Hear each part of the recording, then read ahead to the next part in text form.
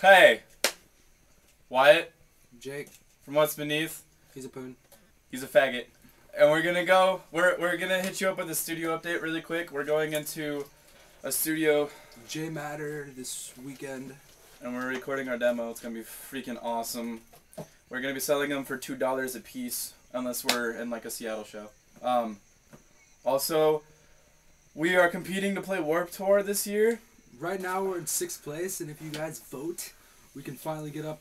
Uh, they choose what is it, top four? Yeah, like the top four. Yeah, they choose the top four and choose from them. So if you guys can get us some more votes, we can kick some ass and hopefully play a Warped Tour this year. Yeah, knock Hot Mess Music down because they fucking just suck really bad. They're just so bad. What a pathetic excuse. Yeah. Also, go vote for Repave the Skies because they're awesome dudes and we love them. And that's basically it. New shows coming up your way soon. New demo coming up. So stay tuned.